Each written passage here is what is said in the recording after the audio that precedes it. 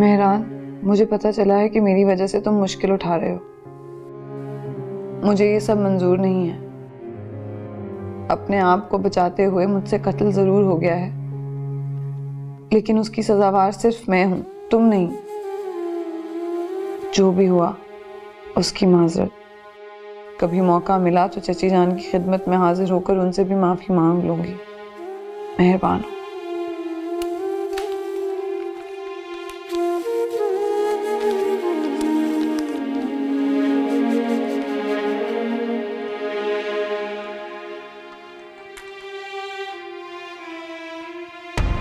क्या?